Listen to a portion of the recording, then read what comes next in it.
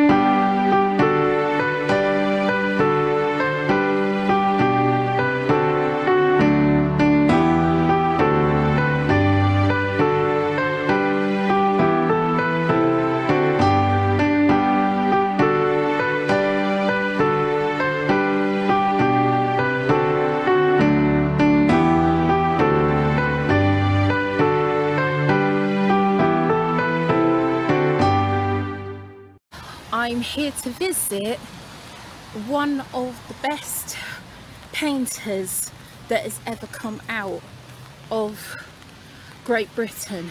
Yes, I'm talking about Thomas Gainsborough and that, who's buried in this church right in front of me. Turn you around.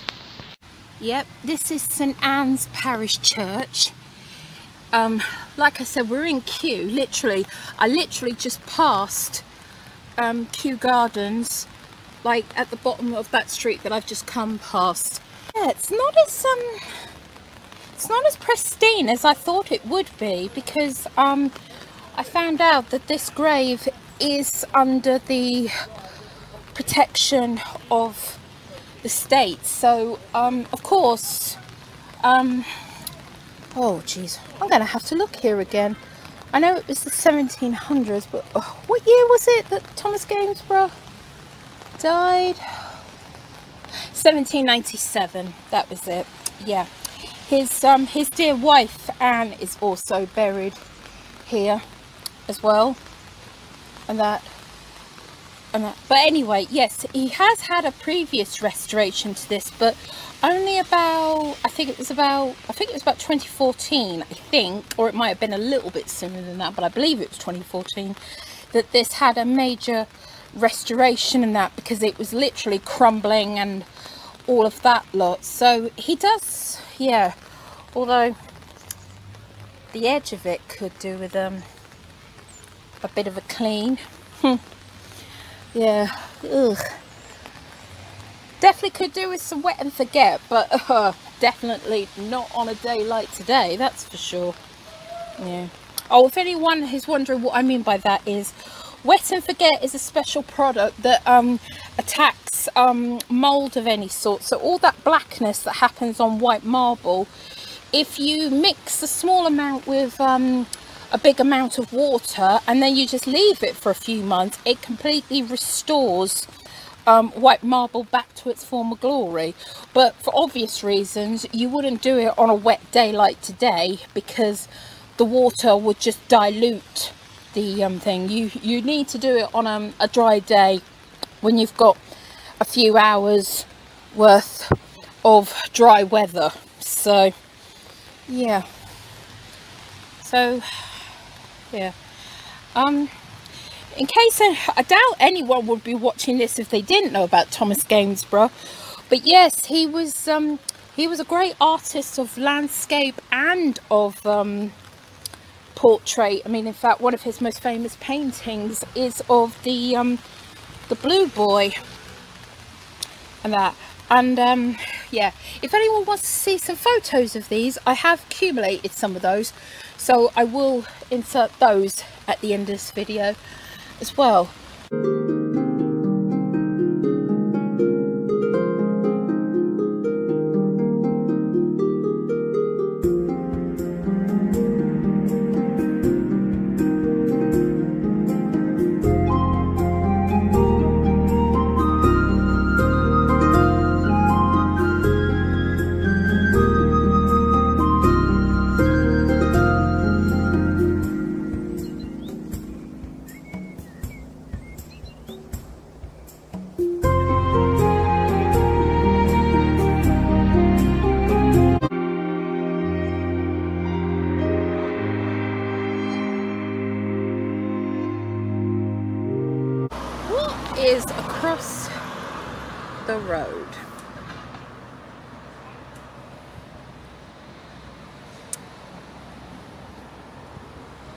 Yep, Eagle and Child Pub, where C.S. Lewis used to meet Tolkien and the other Inklings.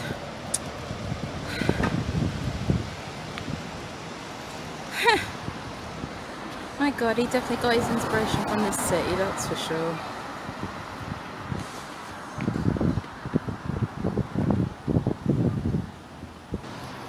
Yep, just as I found out, yep, we've lost the Lamb and Flagon. Not the Lamb and Flagon, Flag. Yeah, this was the pub inside that the bar gave Tolkien the inspiration for the Prancing Pony in Bree. So, Yep. Oh, that is such a shame. I would have so loved to have seen the inside of that building, but oh well. And unfortunately, that's not the only pub that with historical means that went down in the pandemic. Yes, we lost the eagle and child too. So I just hope they can do something as historical value for it. Sorry about the traffic noise, guys. I'll talk as loud as I can on this microphone. Hopefully it's not too loud, I hope. But I don't think that's possible with all this traffic. So, yeah.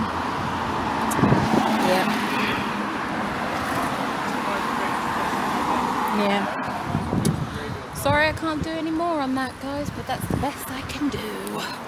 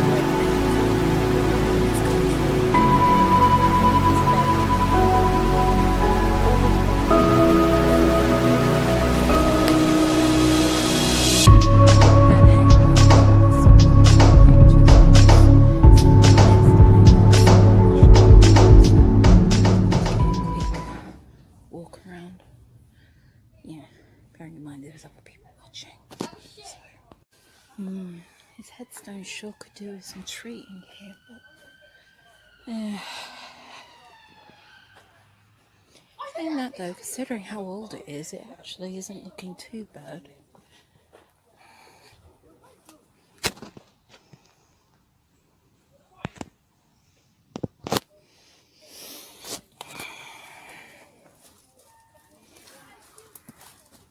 Whoops.